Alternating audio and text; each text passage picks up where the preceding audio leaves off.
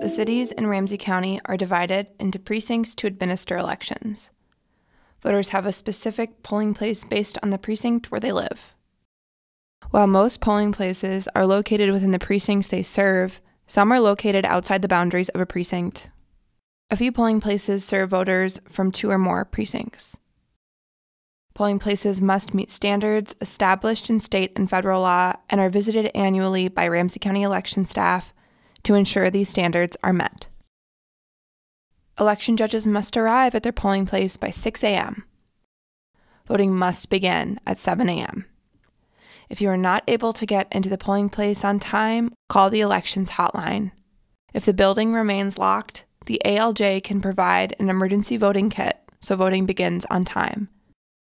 Upon arrival on election day, take a minute to introduce yourselves to each other. The head judge will administer the election judge oath to the group before beginning the polling place setup. The oath form and all others referenced in this video is located in the green folder. Upon completing the oath, each judge must sign the form. All judges should complete and wear a name tag.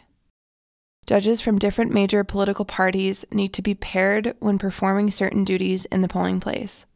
The election judge roster will assist the head judge in determining which judges can be paired. Please refer to the polling place reference guide for the list of these duties. Most polling place supplies are delivered prior to election day. The delivery location is listed on the polling place information sheet. The head judge will bring the poll pads, Wi Fi device, and non registered roster on election morning. Confirm that all supplies are for your precinct. Some polling locations contain two or more precincts, and it is important to separate supplies for each precinct. Follow the instructions on the form titled Checklist Opening the Polls. The head judge will assign tasks to the precinct judges. The Wi Fi device should be set up by the assistant head judge as early as possible. Contact the elections office immediately if the device is not working. When setting up the polling room, consider the flow of traffic as voters move through the voting process. Voters meet the greeter judge, proceed to the poll pad judge to determine if they are registered or voted by absentee ballot.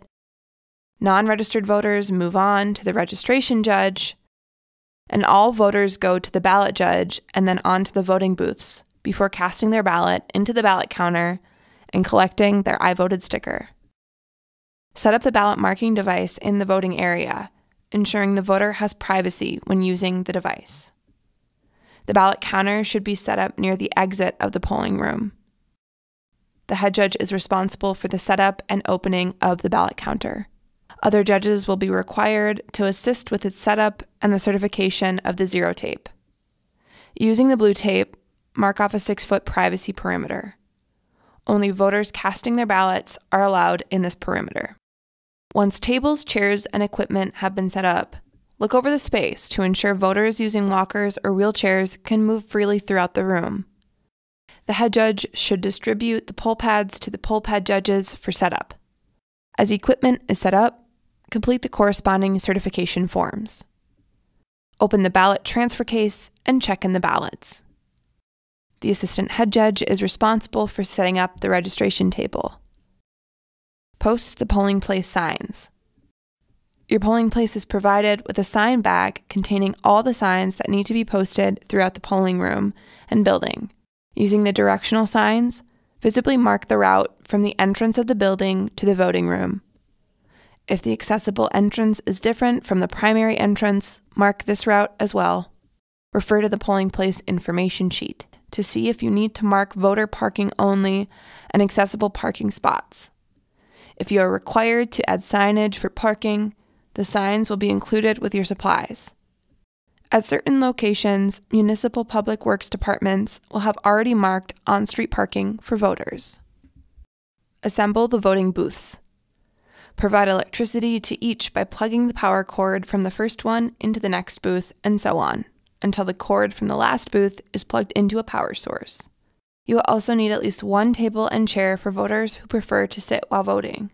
Place one voting booth on the table and have the chair positioned so it can be used if needed, but easily moved aside if any voters are using wheelchairs. Additional chairs should also be set up for voters who choose to mark their ballot using a clipboard rather than waiting in line for a voting booth. Using the blue tape, mark off a six foot privacy perimeter around the voting area. This area includes the ballot marking device, voting booths, and tables used by voters to mark ballots. This designates the area that only voters and persons assisting voters can enter. Using a cell phone, the head judge should establish the official time. At 7 a.m., place the Vote Here sign and the U.S. flag outside the main entrance. The polling place is now ready and open for voting.